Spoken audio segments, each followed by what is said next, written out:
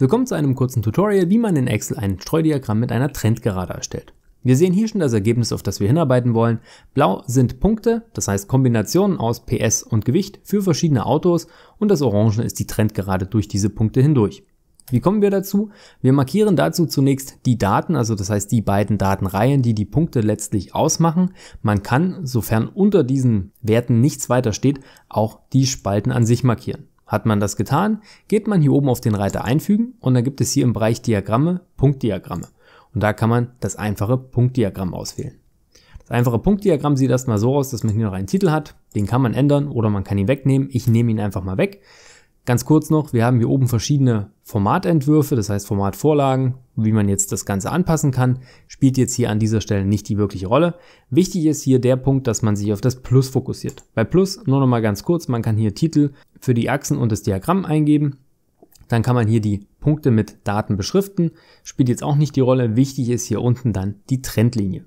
Die Trendlinie, da kann man prinzipiell, wenn man eine Gerade haben möchte, also eine Trendgerade, den Haken einfach setzen.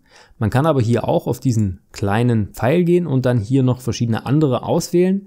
Wenn man auf weitere Optionen geht, gibt es hier noch mehr Trendlinienoptionen, also exponentielle Funktion, logarithmisch, polynomisch und so weiter und so fort. Wichtig, jedes Mal, wenn man eine zusätzliche Gerade auswählt, wird die auch im Diagramm hinzugefügt. Löschen kann man die, indem man die einfach anklickt und dann die Entfernen-Taste auf der Tastatur drückt. Wir gehen jetzt einfach mal davon aus, dass wir hier diese Gerade auch beibehalten wollen. Da gibt es die Möglichkeit hier bei Schnittpunkt auch zu sagen, ich möchte das Ganze beispielsweise durch den Koordinatenursprung, also 0, 0, durchgehen lassen. Das ist jetzt durchaus ein mögliches Szenario, wenn auch nicht sehr wahrscheinlich, aber diese Option existiert.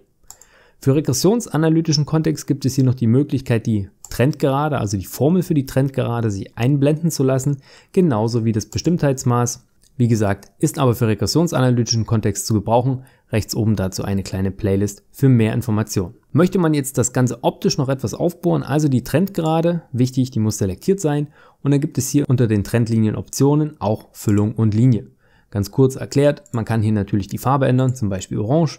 Die Transparenz, man kann hier ein bisschen mehr Stärke hinzugeben oder abnehmen.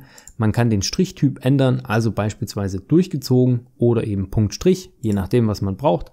Man kann hier unten bei dem Pfeiltypen und bei den Pfeilgrößen auch festlegen, ob es beispielsweise einen Startpfeiltyp geben soll, zum Beispiel hier diese kleine Raute, die kann man auch etwas größer machen und ob es einen Endpfeiltyp geben soll, beispielsweise einen Pfeil, um einen Indikator zu geben, dass das Ganze eben weiter zunimmt.